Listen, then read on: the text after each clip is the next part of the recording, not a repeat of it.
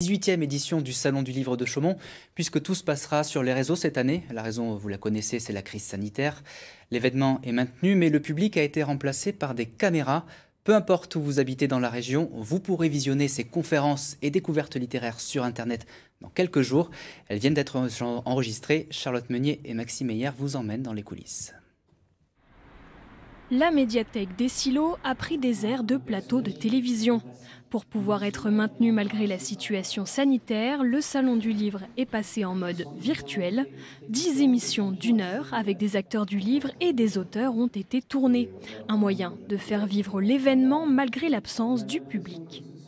Étant donné que tellement d'événements littéraires ont été annulés euh, ces derniers mois et ça, se poursuit, je trouve que maintenir, maintenir des choses, même si c'est euh, par diffusion, filmé, après tout la rencontre elle a quand même lieu, le débat a quand même lieu et c'est important de faire vivre la littérature même dans ces, dans ces moments-là.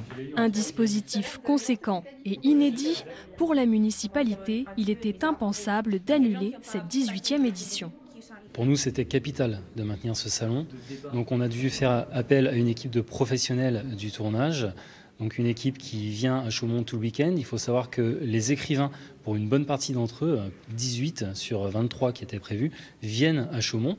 Malgré la présence des auteurs, l'édition 2020 reste marquée par l'absence du public. Le salon attire habituellement plusieurs milliers de visiteurs. Cette année, les librairies chaumontaises devront faire sans.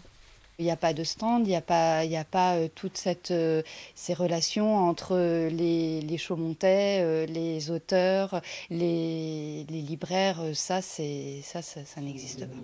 Les amateurs de littérature pourront visionner les 10 émissions sur la chaîne YouTube du Salon, un épisode par semaine à partir du 5 décembre, de quoi patienter un peu jusqu'au prochain Salon.